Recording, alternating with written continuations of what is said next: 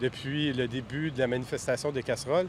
Euh, c'est rendu un mouvement social. Il y a des manifestations spontanées qui partent un peu partout euh, à différents endroits de la ville.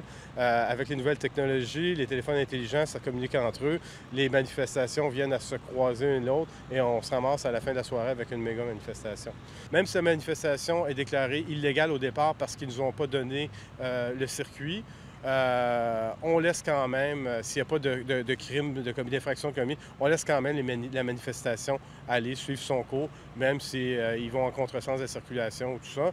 Nous, ce qu'on fait, et on l'a fait hier, je sais que c'est pas agréable, on tente de suivre la manifestation majeure et celle où, celle qui représente le plus de danger, entre guillemets. Ce soir, on tweete de l'information concernant la manifestation qui se déroule, c'est-à-dire qu'on va dire aux gens, euh, elle est sur Sainte-Catherine, elle se déplace vers le nord, etc.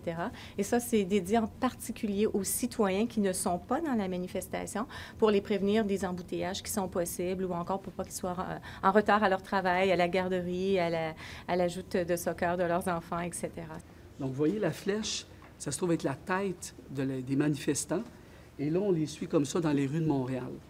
Et là, on peut voir euh, l'évolution, même la longueur euh, euh, des manifestants. Ce soir, ils ne sont pas nombreux, ils sont à peu près 300, ce qui n'est vraiment pas nombreux. on a connu plusieurs milliers de personnes à maintes reprises.